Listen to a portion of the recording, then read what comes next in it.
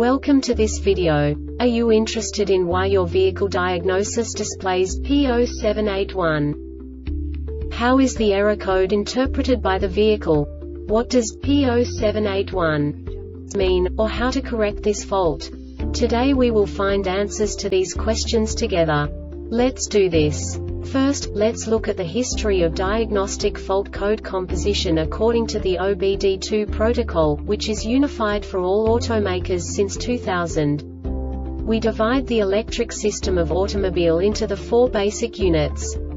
Powertrain, body, chassis, network. This distribution is defined in the first character code.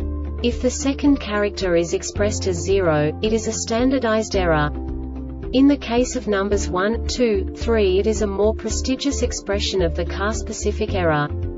The third character specifies a subset of errors.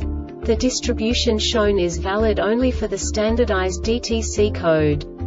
Only the last two characters define the specific fault of the group. Let's not forget that such a division is valid only if the other character code is expressed by the number 0.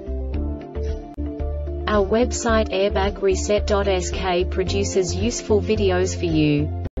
You do not have to go through the OBD2 protocol anymore to know how to troubleshoot any car breakdown. You will find all the diagnostic codes that can be diagnosed in a Toyota vehicles.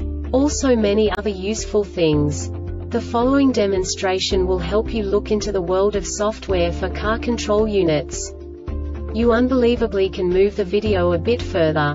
The error code is split into two bytes consisting of 16 bits. One bit is the basic unit that each computer works with.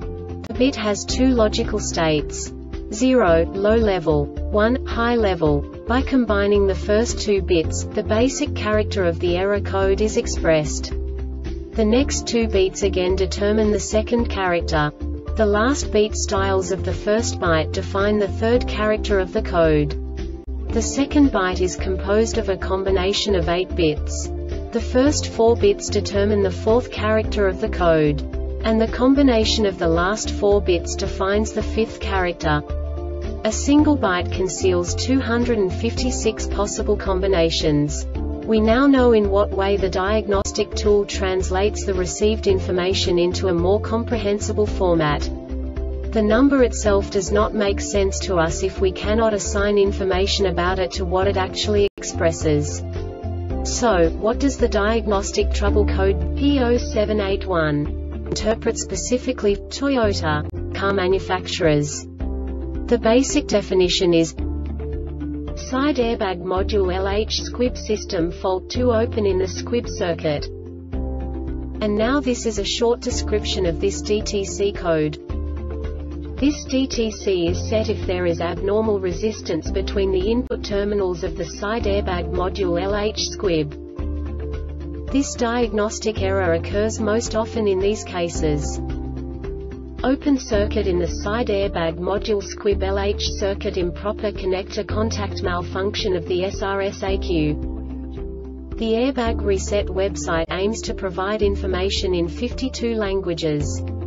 Thank you for your attention and stay tuned for the next video.